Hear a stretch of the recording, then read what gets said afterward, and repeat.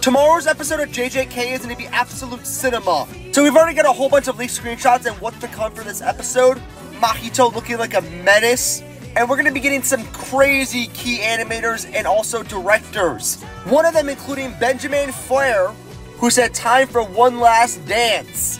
This episode's obviously going to be animating Yuji and Todo versus Mahito. And oh my gosh, is it going to be peak?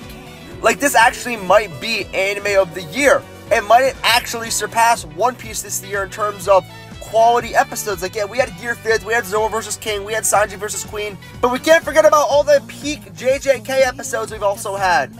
It's to be a movie. There's a lot of people that are rumored to be directing this episode and animating this episode. I don't want to spread false info, but from what it seems, there's a very, very good lineup, and this is a very pivotal moment for the story. So I already know Mappa is to cook. They're gonna pop off. There is production issues, but I know